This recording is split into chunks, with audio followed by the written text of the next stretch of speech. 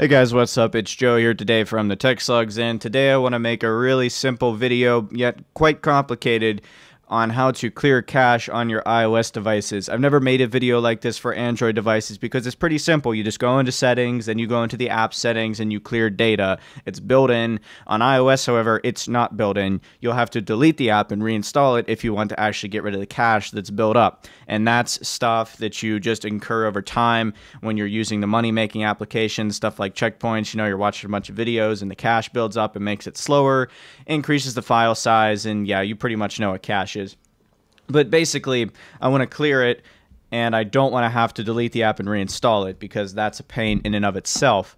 So in order to get this functionality on your iOS device, you're going to have to get a tweak from Cydia. So you will have to be jailbroken. I'm not going to go into all that right now, but stuff on this channel I've talked about, like remote access, also requires jailbreaking for iOS devices. So hopefully you are jailbroken already or you've seen the value in it before. Once you get on Cydia, go to Sources go to edit and then click add. You're going to have to add this source right down here. It's pretty simple to memorize, but I'll also leave it in the description for you. After you add it, just click refresh, so that way it gets all the packages from there. And from that point, go to search and type in, let's reload the data here just for a minute. Type in cache clearer, and as you can see, I already have it installed. It is from this repo, it's free. No need to purchase anything. I don't even think you have to respring when you install it because it is pretty small.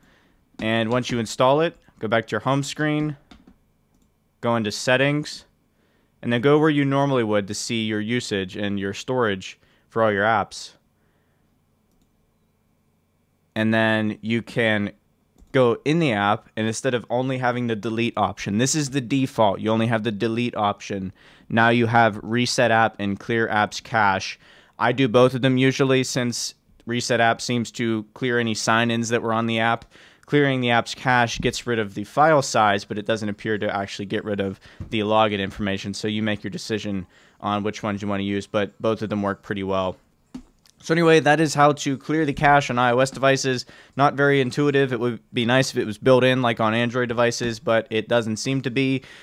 Hope that was helpful for you guys, and I'll be back later for more money making videos. In the meantime, have fun making money. Quit using it, and then I started a few months ago.